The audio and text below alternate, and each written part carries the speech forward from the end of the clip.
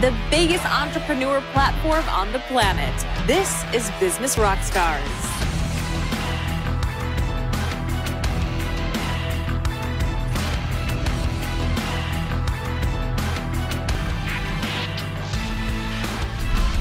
This is Business Rockstars. I'm Brittany Whitney, and my guest today is Danielle Bernstein, founder of Shop We Wore What, Mo Assist, and We Gave What. Danielle, how are you? Good. Thanks for having me. So, tell me a little bit about your entrepreneurial journey and how you got your start. Where to even start? Okay, so I'll kind of give you the spiel because I've been doing this for 10 plus years now. But We Wore What actually started as a street style blog when I was at FIT as a student. And so I was photographing street style around campus as this daily source of outfit inspiration for what to wear. Um, and then, you know, slowly but surely within the first year, transition that into a personal style blog, which was at the same time that Instagram was created, and then transitioned from an online platform to social media and started growing my business on Instagram, and then started doing sponsorship deals with brands, growing my own brands. And then now here we are. Amazing. And um, how did you start your blogging journey? Like, at what point did you really notice your career was taking off? There were a few moments throughout my career that were sort of this I made it moment. One of them was when I surpassed 1 million followers. The second was when I was on Forbes 30 under 30 at the age of 24. And then the most recent one was becoming a New York Times bestselling author. Congratulations. Thank you. Um, so as you said, you surpassed a million followers. You now have about 2.5 million on Instagram, correct? Yeah. Um, how did you kind of grow your following and how did you pave your path? Because as you said you were kind of the first to start the whole influencer marketing if you will. My following is the product of organic growth over the past you know decade. And i really have sort of pioneered the influencer industry and with the other og influence have really set forth the best business practices for how an influencer can make a career out of doing this and do you have any tips or tricks um, for people watching who, you know, want to break into the blogging space, but they feel like it's too oversaturated at this point? There's a couple of things that that I tell people that want to break into the space, and and the most important, and maybe sounds a little cheesy, is to find your niche. Like you really have to find a space in the market and fill that. That doesn't exist, and you have to be different. You have to be consistent and you have to really treat it like a business. You have to have a content calendar, and consistency is key. So it definitely is not just like a part-time like fluff fluffy job like we really are super strict with what we do here and we work really hard and tell me about mo assist and why you started this workflow tool for influencers so Mo Assist is essentially the first project management tool for the influencer industry, and it really serves to solve all the pain points of basically staying organized, the communication between brands and an influencer, the approval process, and then being able to actually invoice and get paid. So if you don't have a Mo, who is my longtime assistant turned CEO, basically, she's been with me for eight years. Uh, if you don't have a Mo, you don't have an agent, you don't have a team surrounding you, let Mo be that for you. And so that's really why we created it because, as you know, the influencer industry is huge now. And as you kind of are under the spotlight in a sense um, you know people can critique you and people can say nasty things to you.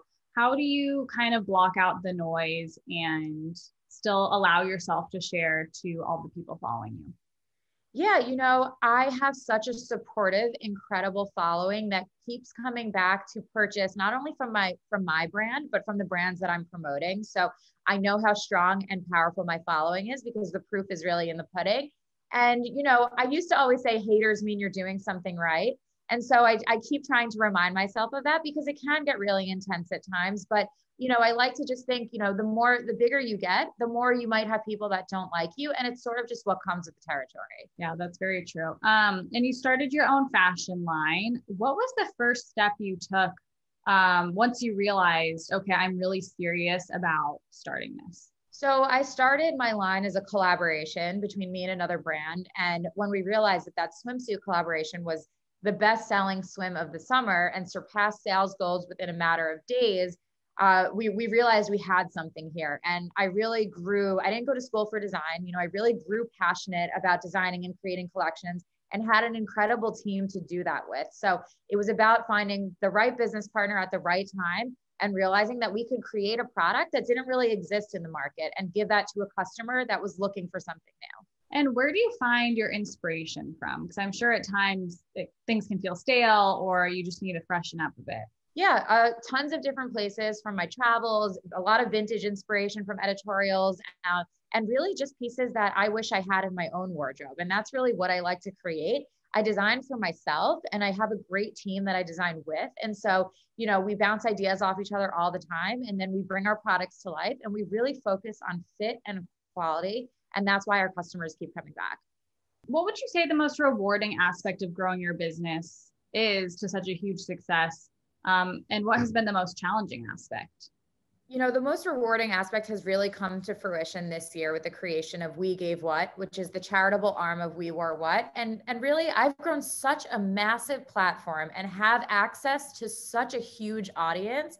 And so We Gave What really was created to serve as this middleman between small businesses and great organizations and a wider audience. So the the point of it was really how can I lend my platform to you? How can I help get your message across, raise awareness for your organization and help your small business during such a tough time? And that has been so rewarding, the most fulfilling work of my career. We have been able to help keep dozens of small businesses afloat, raise hundreds of thousands of dollars for different organizations and really partner with these nonprofits in a way that's long term term. And it's all about those long term relationships. And we like to keep things in the family. That's amazing. Congratulations.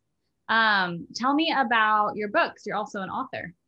So, This Is Not a Fashion Story is my book that came out this past May and then was shortly after a New York Times bestseller.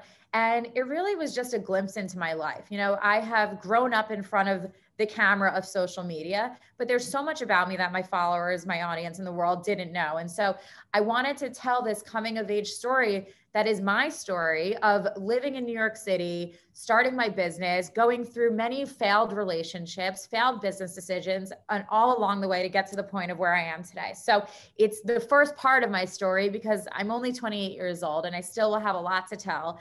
But this is the first part of my story that I really wanted to share with my audience so they can get to know all of me. And what advice do you have for any entrepreneur really who has kind of hit that brick wall and they feel stuck and they feel uninspired and they feel like they want to give up?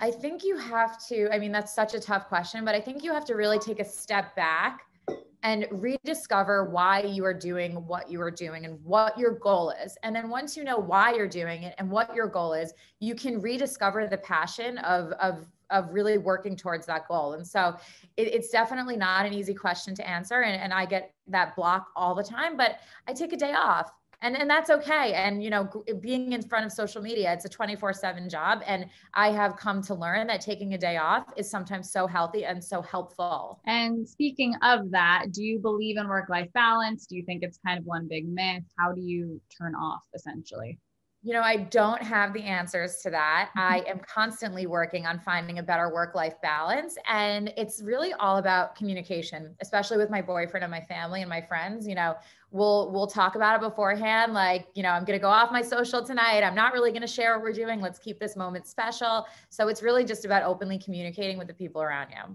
and was there ever a point in your business where you felt like it was too much where you wanted to kind of throw in the towel and give up always.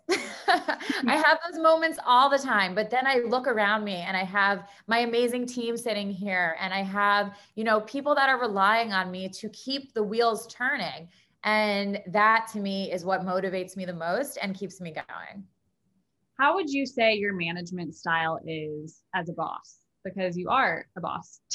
yeah, I mean, we love to have fun. Uh, we love to be really communicative. Like, we, it's hard to describe because it is such a fine balance between boss and friend, but I think it's really just about respect. And we all have a lot of respect for each other. And so that's how I like to manage my team. And I don't even like the word manage because really they manage me and my time, and they're my, more my boss than I am theirs. Yeah.